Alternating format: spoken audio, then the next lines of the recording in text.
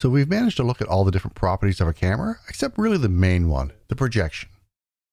Now we have looked at perspective versus orthographic, but really what exactly does it do? I wanna go switch my camera back to perspective and take a look in this scene. I have two cubes, one directly behind the other. It's five units behind it. They're both centered at zero, same as the camera, so they're directly in front of the camera. The green one is twice the size of the red one. And when we're looking at it through a perspective camera, it looks very flat. It's 2D. Well, it appears to be 2D, right? The red box inside of a green box, or it just looks like one texture.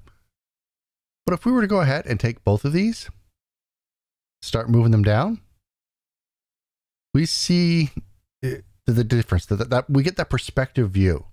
We can see depth in our scene and we can see the relationship in position between the two elements, or in this case, the two cubes.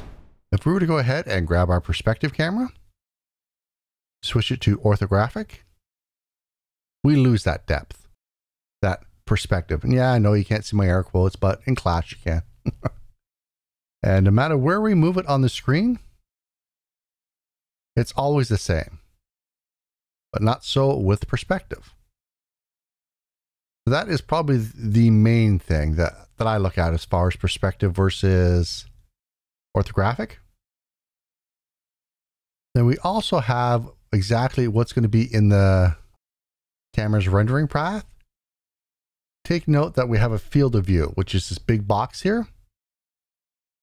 And we have a slider under projection. And we can adjust that field of view. Let me try to get a better angle for you. So depending on the type of game you're making, you may want to even adjust the actual field of view. Now be careful, a lot a lot of games when you start playing around with the field of view can make people sick.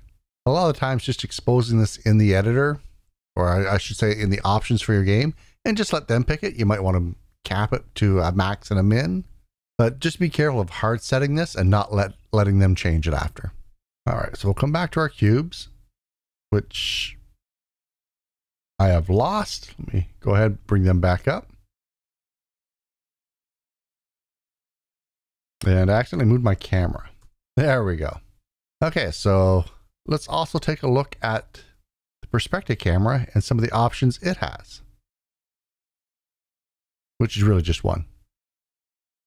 Okay, orthographic has the size, and the size acts as a zoom. We go ahead and make it bigger, things get smaller, further away. As we make it smaller, things get bigger, they become closer. And if we take a look at orthographic, it's this big box that it projects. And what you're doing is uh, adjusting the size of this box. So if something's 50 pixels on the, well, this is the way I look at it. If something's 50 units inside of this box, when you're making the box smaller, it's still 50 units. It's just there's less units inside of the box, thus making it bigger. At least that's the way my little loser brain processes it. But this actually really comes in handy, especially with 2D games. A lot of the times the sprites, I'll get the whole scene set up. I've got everything working or looking the exact way I want it as far as relationships to each other. But maybe I just want to be able to make everything just a little bit bigger. So instead of going through and adjusting every single sprite, I can just go ahead and change my orthographic size. Now, as far as which one is better to use in which situation, really, I think it's just a matter of the, the feel that you're going for in your game.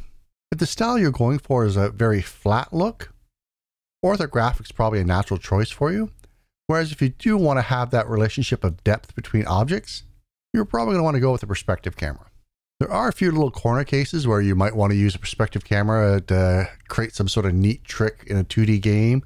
Likewise, an orthographic camera to create a trick in maybe one of your 3D games. I've shown you how to create a mini map, and a lot of times I'll use that as an orthographic camera. But do you have any other little secrets like that? Let us know down below in the comments. And as always, I'll see you in the next video. Bye bye.